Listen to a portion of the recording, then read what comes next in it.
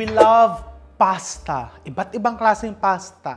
White sauce, red sauce, and of course, ang pinaka-refreshing sa lahat is oil-based. So today, let's prepare tuyo with a lot of garlic pasta.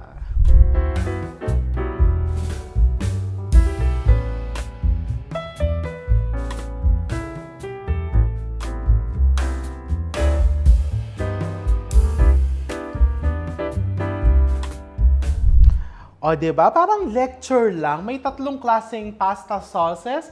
We have the tomato-based, we have the cream-based, and we have the oil-based. Pag may mga parties or sa mga buffet, hindi pwedeng mawawala yung tatlong yan. Kasi, ba, kanya-kanya tayo ng hilig. Merong mahilig sa tomato sauce, cream, merong mahilig sa oil-based. Ako, I'm going to give you a tip. Mahilig akong paghahaluin ko yung tomato and cream. Baka sabihin na iba sa inyo na naman pakialam namin sa hilig mo.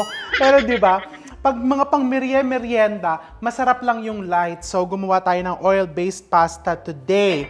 But I'm going to use tuyo o allow me to promote our gourmet products. This is our gourmet crispy tuyo. This is homemade and it's very delicious with rice pero perfect then with your pasta. This is slow cooked So makikita mo kahit buo yung tuyo, pwede mo pa din kainin yung buto niyan or yung tinik dahil malambot na malambot na po yan or crispy na crispy na.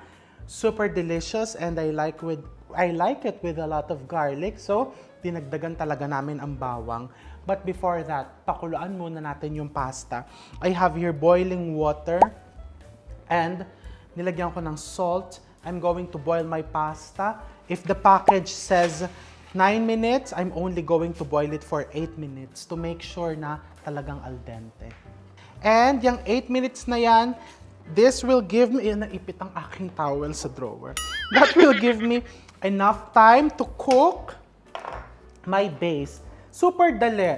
Ang kailangan mo lang is three ingredients. You need your gourmet to your products, which you can buy sa aming cafe. Soon, we will have online store.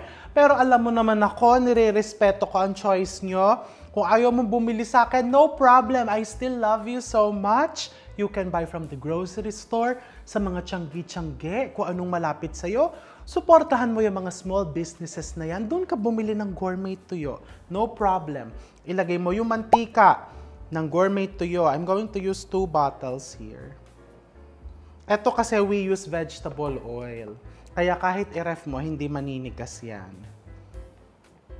Two bottles, huwag mo itapon yung mantika dahil nandyan lahat ng flavors. And maglagay ka ng garlic. This is thinly sliced garlic. You want to brown this. Mm, naamoy ko na yung tuyo through the mantika. So, lulutuin mo lang to until light golden brown. You don't want it super crisp. Yung tamang ano lang, tamang brown lang. If you want it spicy, you can always put some chili flakes. But the choice is yours. Lagyan ko lang ng konti. So, mahina lang yung apoy kasi what you're doing here is you're infusing the flavors. Pinapakapit mo yung flavor ng bawang at nung chili flakes sa mantika mo. Although ito tasty na talaga yung mantika kasi slow cooked po itong ating tuyo. Kung halimbawa naman, you want to do traditional, meron kang tuyo, yung tunay na tuyo talaga na naka-plastic, mantika, bawang, tapos yung tuyo, himayin mo lang, just remove the skin. And the tinik. Walang problema. You can even use tinapa. Although yung tinapa, may bukod tayong recipe nun, yung tinapa pasta, which you can see here. Ayan, panoorin mo din yan. Medyo iba yung process niyan kasi ang tuyo mas maalat po compared to the tinapa. Alright, so nakikita mo medyo nagla-light brown yung bawang. Ilagay na natin yung ating tuyo. May, marami din bawang yan. Gusto ko kasi talaga, ang hilig-hilig ko sa bawang. 'Di ba? The farm yung ating farm. Yung farm ko na ng bawang na nagsara na po. Dahil masyado ako madaming gumamit ng bawang. Charot lang. Doon po sa mga naniniwalang may farm ako ng bawang, wala po ha. Charot lang po yun. So, ginugupit-gupit ko lang to.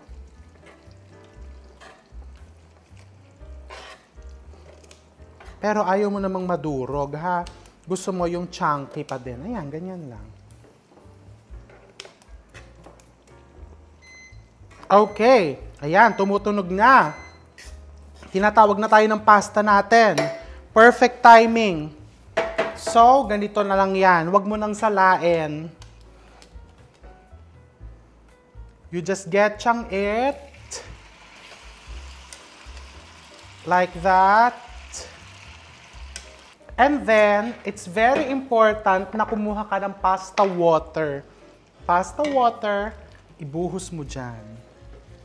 Kasi the pasta water will help emulsify, ayan o, your oil para hindi naman lahat ng makakain mo ay mantika.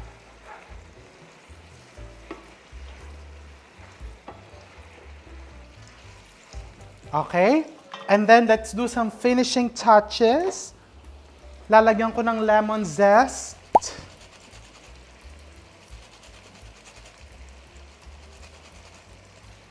And also, some lemon juice. Mm, ganyan mo muna para ang juices ay mapiga. Pigain mo dyan. You give it a nice toss.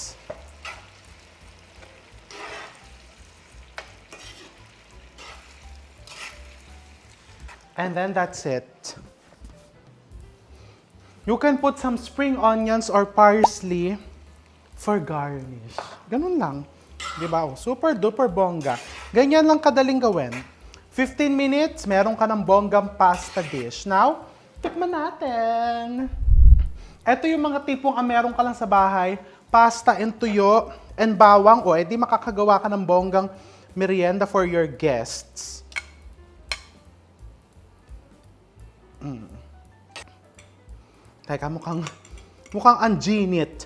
And ang promise ko sa inyo, mantika pa lang yan, malasa na. So kahit walang sahog yung pasta mo,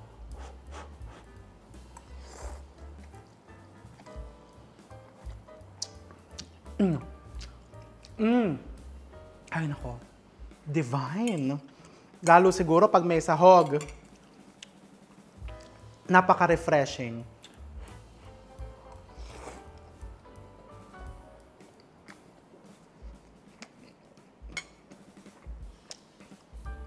Ah. Napaso ako pero ang sarap.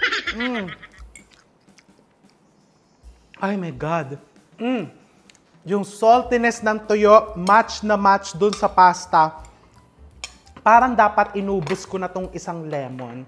Eh, ubusin ko na nga. Mm, sabi ko nga eh, ba't ba hindi ko pa inubos?